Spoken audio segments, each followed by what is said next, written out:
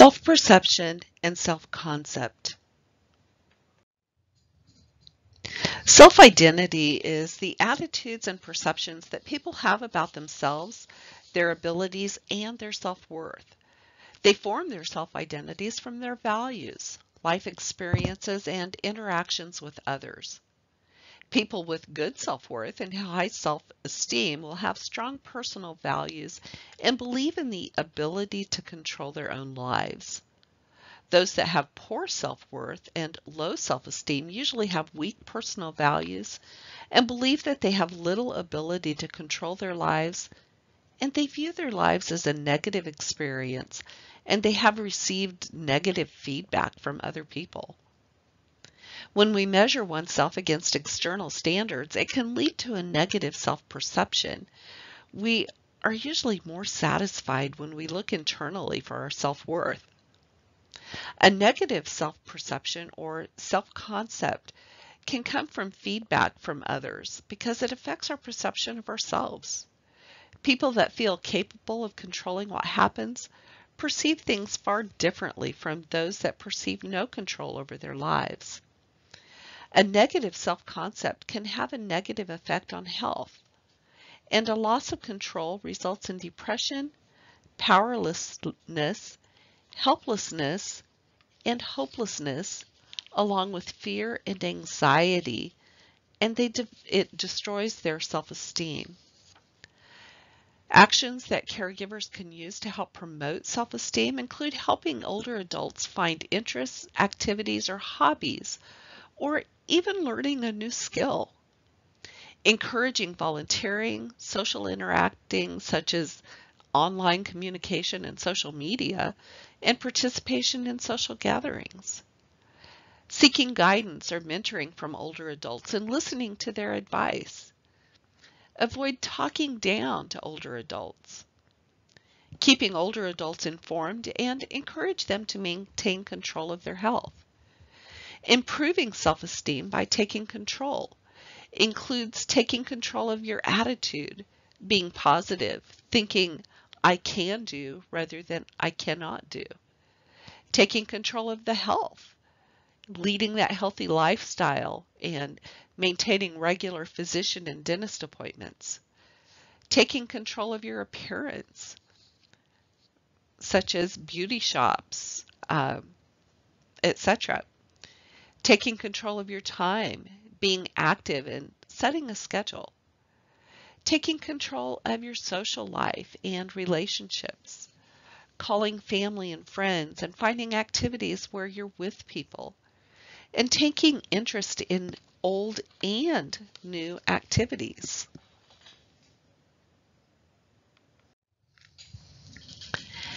Aging individuals will develop their own perceptions of aging Many older adults express dismay when they realize and can even identify a particular moment when they started perceiving themselves as old. Successful aging is not so much a matter of the years that they've lived or their health status, but rather a matter of perception and attitude. Level of self-esteem throughout life when older adults who have had a poor self-concept throughout their lives, they're not likely to gain self-esteem with aging.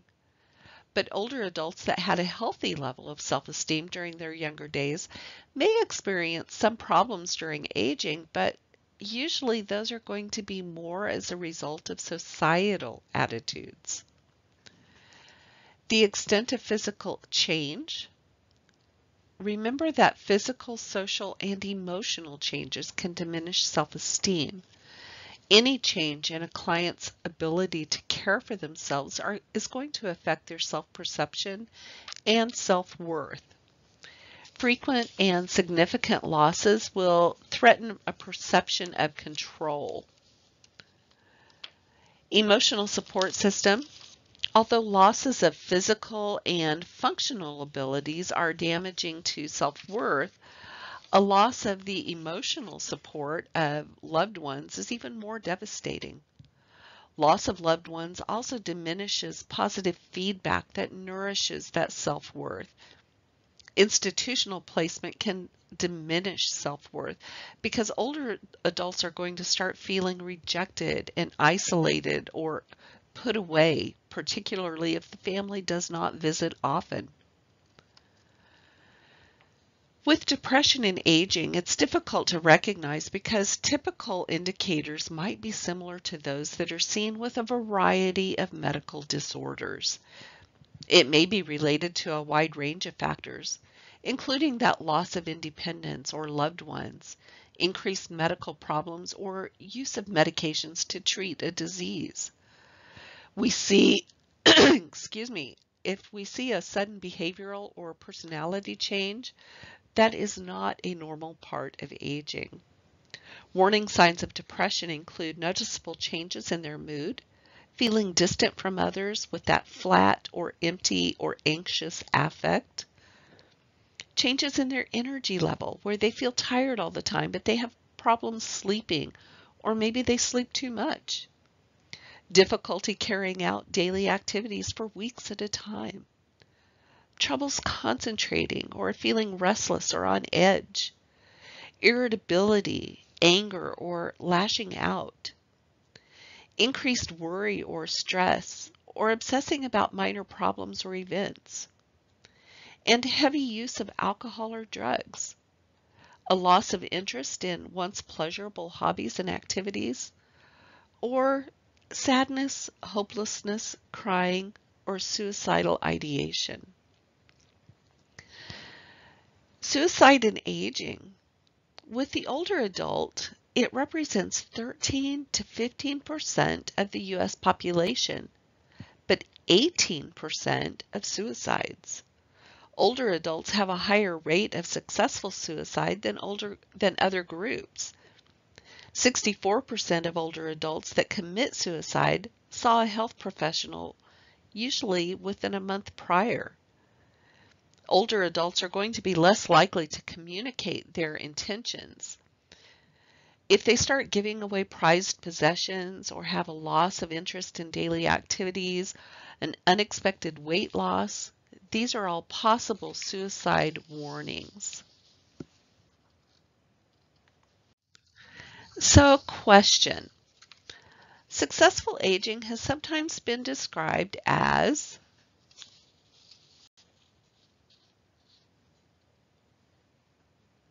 mind over matter.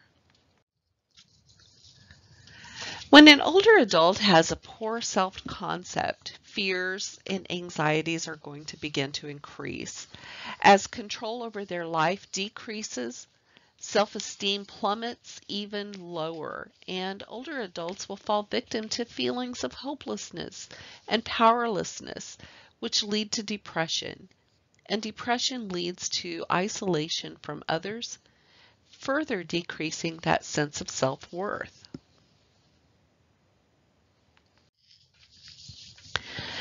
people experience body image disturbances, they are more likely to refuse to look at or touch those affected body parts. In severe disturbances, the individual may deny that the changes even occurred and they act like nothing has even happened. They're likely to verbalize feelings of worthlessness and powerlessness. They may become preoccupied with body function. Our goals are going to be for the client to verbalize concerns regarding changes in their body appearance or function, identify their personal strengths, and acknowledge and look at the actual changes in their body appearance. Verbalize willingness to modify their lifestyle to accommodate physical changes. Demonstrate readiness to participate in therapy and use necessary assistive devices. Different interventions are going to include assessing the older adult's perceptions of their self, including their strengths and support systems. Establishing that trusting relationship.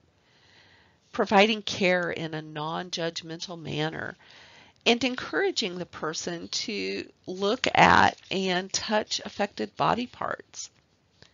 Focus on their abilities, not their disabilities assist them in selecting clothing or dressing in a manner that de-emphasizes the body changes.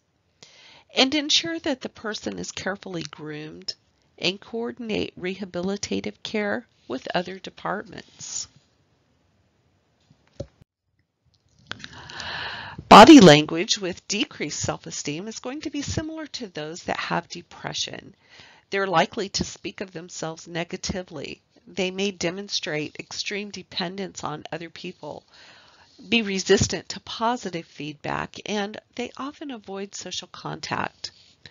Our goals with these clients are for them to identify their personal strengths, express their feelings and concerns, and practice behaviors that promote self-confidence. We also, with interventions, want to explore feelings and concerns, demonstrate acceptance of older adults as people with value and self-worth, encourage participation in self-care activities, provide opportunities for reminiscence, encourage the family to participate in reminiscence by providing pictures or items that bring back memories of happy times and encourage families to communicate positive feelings to that older adult. Fear is a feeling of dread or apprehension regarding an unidentified or an identified source.